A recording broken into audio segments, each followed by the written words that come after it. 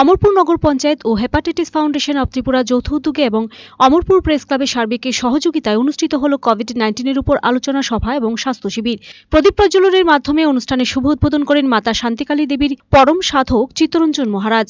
অন্যান্যদের মধ্যে উপস্থিত ছিলেন মহকুমা শাসক বিজয় সিনহা, এইচএফটি গোমতী জেলা সম্পাদক পার্থপ্রতিম সাহা, মহকুমা স্বাস্থ্য আধিকারিক doctor Subhendu Debbarma, doctor Manjur Islam, doctor Debpriya Saha সহ অন্যান্যরা।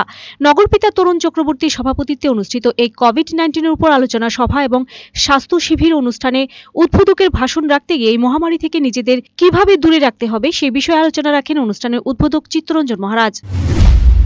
বিশেষত এই যে কোভিড এই নয় মাসের মধ্যে গত চার, পাঁচ মাস আমাদের রাজ্যে, পাশাপাশি আমাদের দেশ এবং আমাদের পৃথিবীর সবখানে প্রায় বলা যায় মোটামুটি সব দিক থেকে আর্থিক, সামাজিক সব দিক থেকে আমাদের খুব সমস্যার মধ্যে আমরা পড়েছিলাম। ওই জায়গাতে আমরা অমরপুর নগর পঞ্চায়েতের মধ্যে আমরা দেখেছি, কিছুক্ষণ আগে আমি এসডিএম সাহেবের সাথে কথা হচ্ছিল, এখন পর্যন্ত প্রায় আমাদের অমরপুর মহকুমার মধ্যেই এই যে কোভিড যে বিষয়টা, এটার মধ্যে প্রায় দেখা গেল আমাদের বারো জন যারা ওনারা আয়োজিত এই স্বাস্থ্য শিবিরে প্রায় শতাধিক বৃদ্ধ বৃদ্ধারা বিনামূল্যে স্বাস্থ্য পরিষেবা গ্রহণ করেন। Bureau report, search India, TNN.